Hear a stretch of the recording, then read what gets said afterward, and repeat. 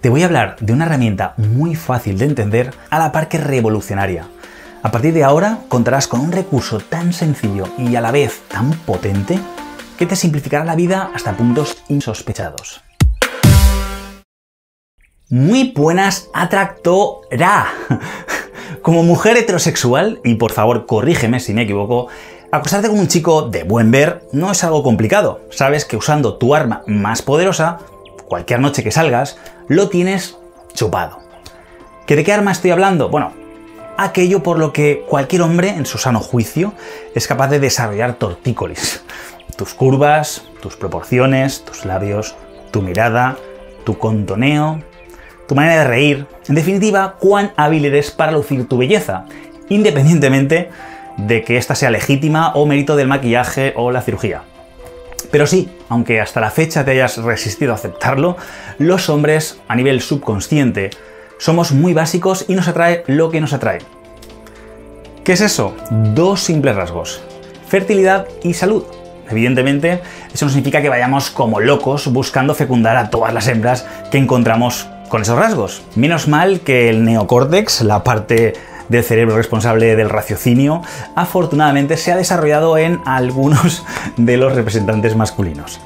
Pero sea como fuere, aunque pongamos preservativos de por medio, cuanto más fértil y saludable nos parezca una mujer, más ganas de encalomarla con todo lo gordo vamos a tener. Y yo le digo, indudablemente, para encalomarte con todo lo gordo.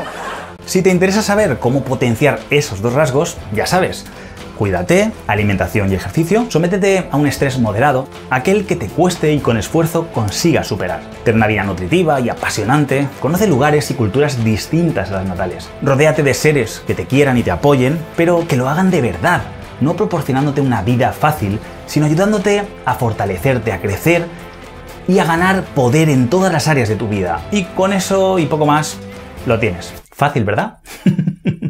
Pero tú no estás aquí por algo tan simple. tú estás aquí porque a pesar de cumplir con todos los requisitos anteriores, no haces más que encontrar ranas disfrazadas de príncipe. Por lo que estás comprometida a encontrar a un verdadero atractor. Ese hombre que es la versión más atractiva de sí mismo. No solo por su apariencia, sino por su presencia. Es decir, por el conjunto de cosas que aparenta, la apariencia tiene su importancia. No basta con serlo, además hay que aparentarlo. Por lo que dice, bonito discurso puede ser muy embriagador, la misma apariencia puede verse perjudicada o beneficiada con tan solo abrir la boca. Por encima de todo eso, ¿qué hace? Sus actos matizarán ambos su apariencia y su discurso. Y por supuesto, ¿qué comparte contigo? Sintetizando, un hombre que se caracteriza por sustentarse en lo que yo denomino los tres pilares fundamentales. Primer pilar, ha encontrado su propósito, aquello que hace vibrar a su alma, ese motor, ese fuego interno que le hace perseguir su visión. Independientemente de que el mundo exterior todavía no se haya percatado de su existencia y no le preste atención, o peor aún, lo haya hecho y no le dé su visto bueno.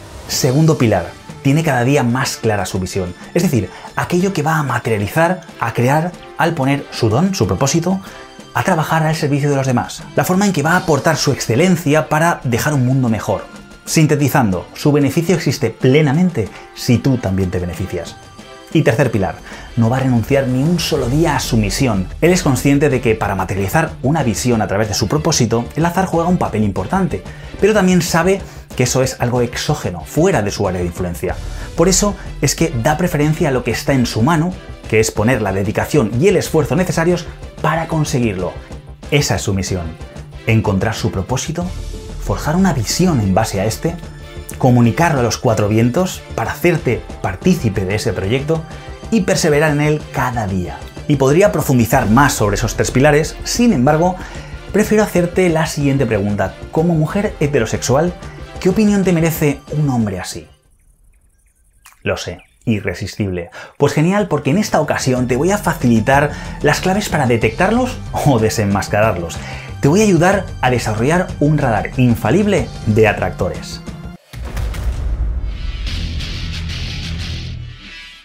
Hola, soy Rey Habana, ya sabes, un humilde servidor que lo único que desea es compartir su conocimiento y experiencias contigo para tratar de evitarte pasar por donde yo considero que es inútil, pero eso sí, persuadirte, motivarte para que pases por donde debes hacerlo.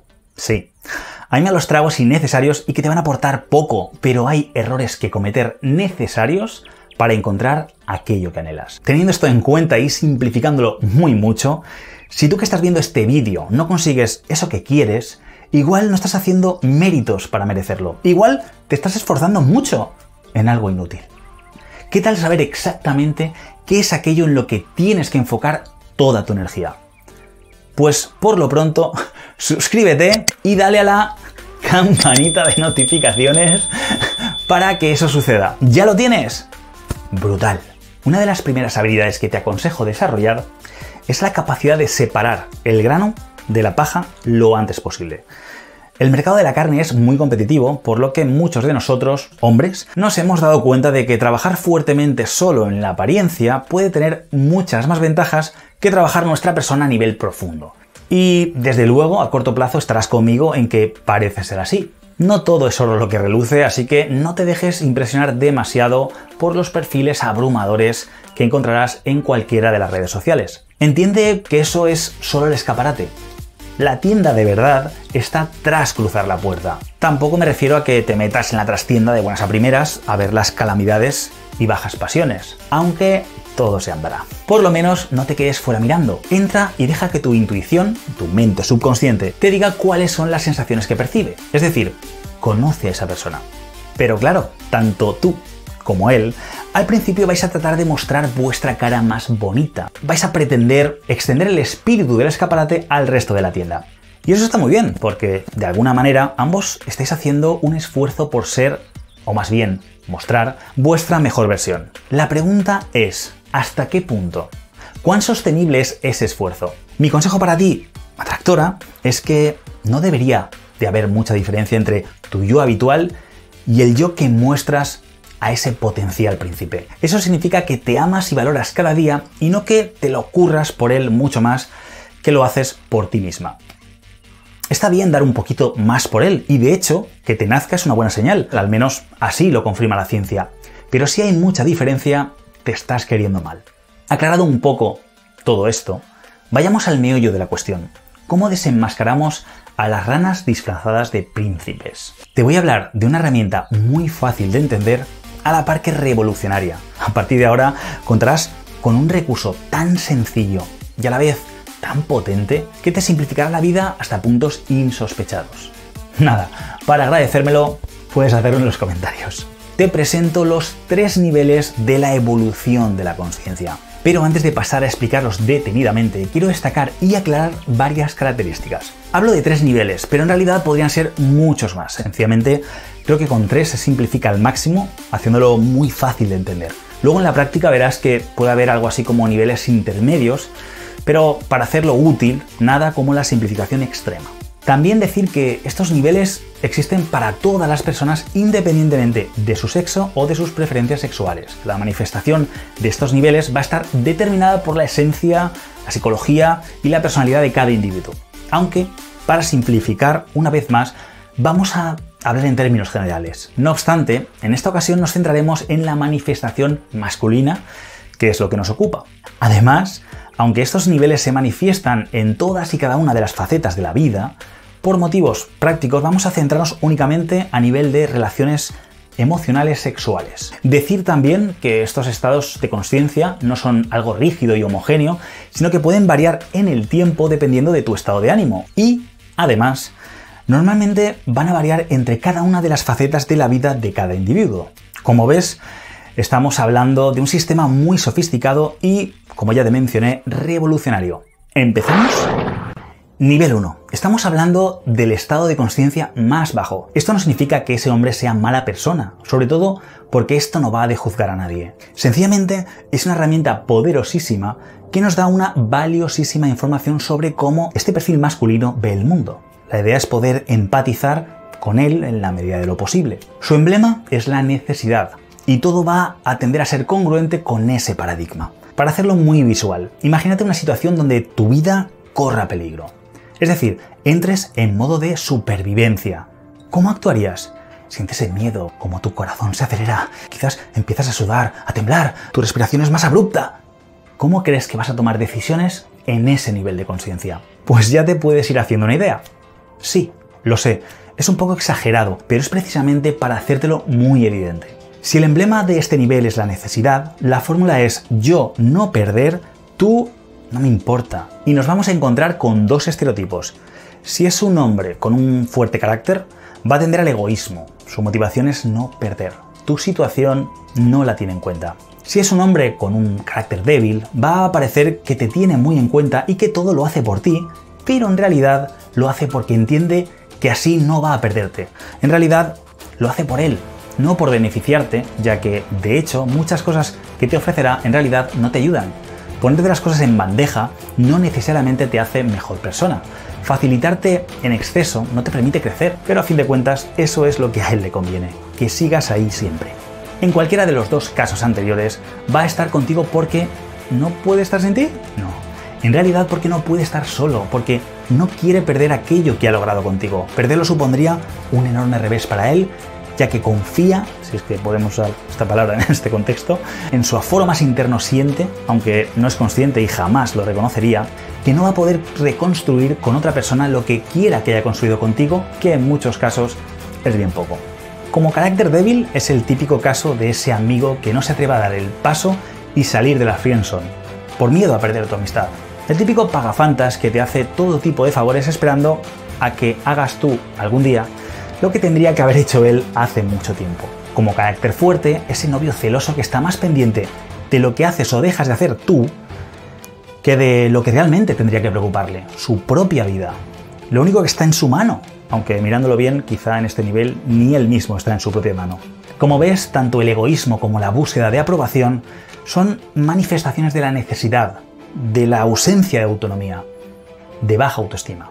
Es un nivel de conciencia de escasez donde cada momento es una amenaza, ya que la vida es cambio.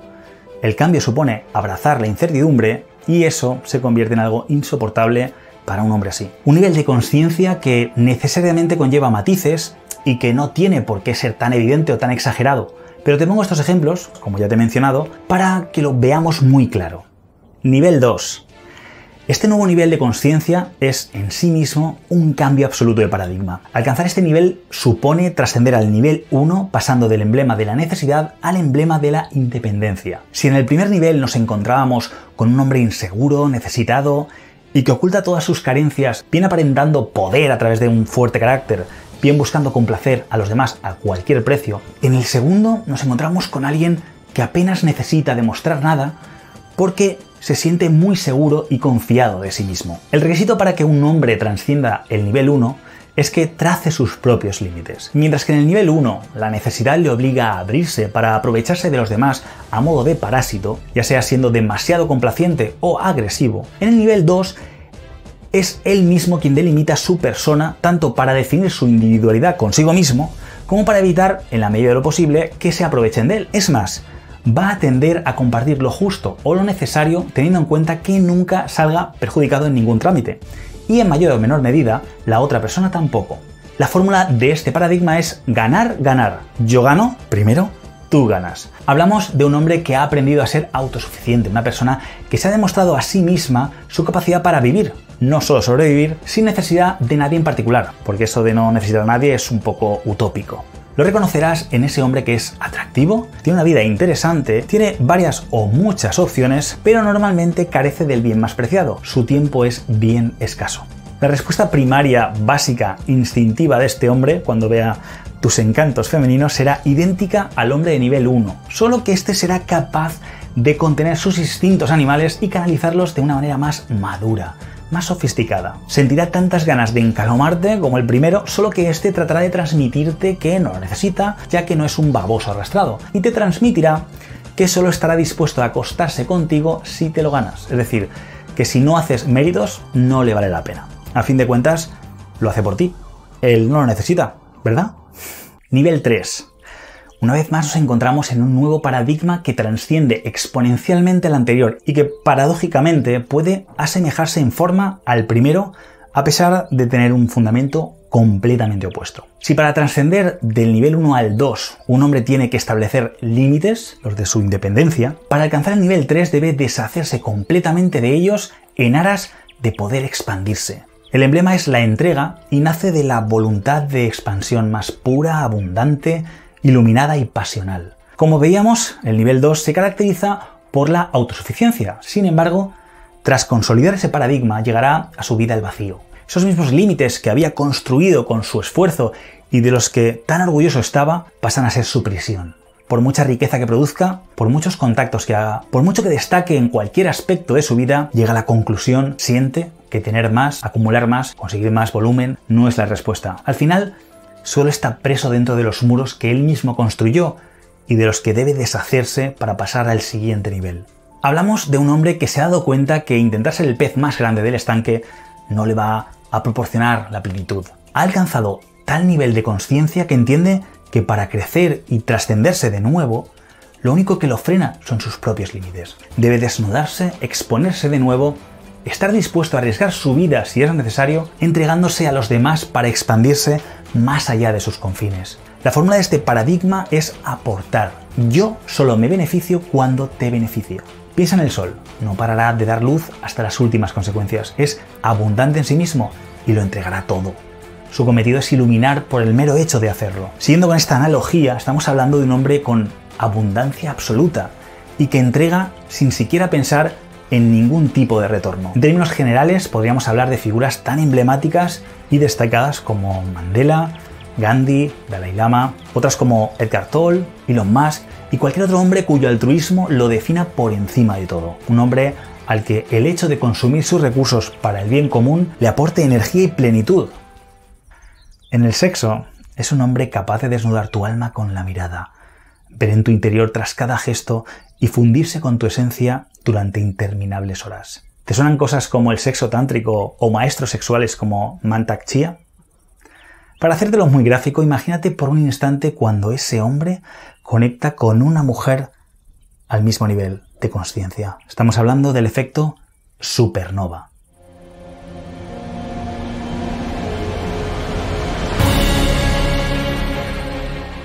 Esto me recuerda a la famosa frase, detrás de un gran hombre siempre hay una gran mujer y viceversa. Por cierto, y cambiando de tema, que se está poniendo todo muy caliente, aclarar que los cambios de paradigma solo pueden ser graduales. Es decir, para que un hombre alcance el nivel 3 en alguna faceta de su vida, debe haber alcanzado antes el nivel 2 en esa misma área. Ahora que ya tenemos una idea clara del tipo de hombre que podemos encontrarnos allí fuera, ¿cómo discriminamos al hombre ideal del que solamente lo aparenta? Pausa el vídeo y déjame tu respuesta en los comentarios. Te espero. Pues bien, la verdad es que la pregunta tiene trampa, ya que hagas lo que hagas vas a traer al tipo de hombre que resuene, conecte con tu mismo nivel de conciencia. Es decir, el tipo de mujer que seas va a atraer al tipo de hombre complementario. Por lo que, por mucho que te esfuerces por aparentar uno u otro nivel, el peso absoluto de tu naturaleza, tu subconsciente, va a predominar en el tiempo. A fin de cuentas, si no cambias a nivel profundo, acabarás volviendo a tu yo habitual. La cabra tira al monte. ¿Quiere decir eso que estás condenada a mantenerte siempre en el mismo nivel? Para nada. Se puede y te recomiendo evolucionar. Pero desde luego, si lo que quieres es avanzar, lo primero es saber cuál es tu punto de partida. ¿Te gustaría saber qué tipo de hombre atraes? O lo que es lo mismo, ¿en qué nivel estás? Genial, porque he preparado un test en el que podrás descubrirlo muy fácilmente.